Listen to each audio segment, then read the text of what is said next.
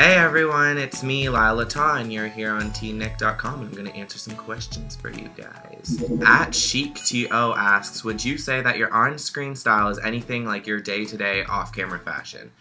Uh, no, Tristan's style, he's in grade 10, so his style is a lot different than mine.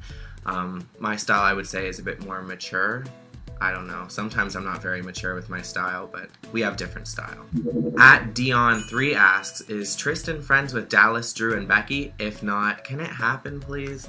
Um, no, he's not friends with them. I don't think it's ever gonna happen. You need to give up hope. No, I'm just joking. It could happen, but uh, they're not friends right now. They just not they really haven't had a storyline together, but maybe it will happen. Who knows? Um, Hannah S asked, "Was there ever a time on Degrassi when you were laughing so hard you couldn't film a scene?" Uh, yeah, there's been a few times. Uh, I know the one time I've talked about it actually a couple times because it was just so funny. It was when me, Alex, and Ricardo were first on the show.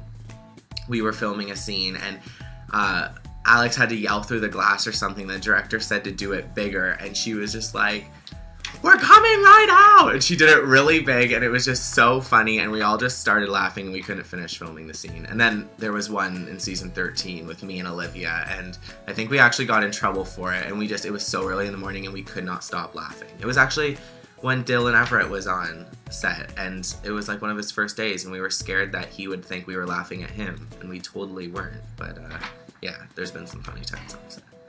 Kristen Z or Zed, if you live in America, either one. Um, she asked, We heard you lived with Alexa Steele in LA for a while. What was that like? Yeah, I actually lived with um, Alexa and her sister Cassie Steele, who was on the show.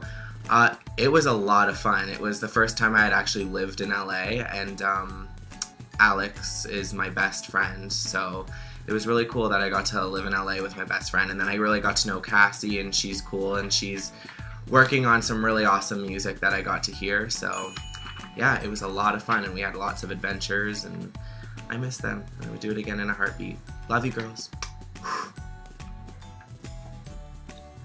well, thanks for watching and submitting your questions. This has been Degrassi Downtime with Lyle Lettau. See you guys on the flip side.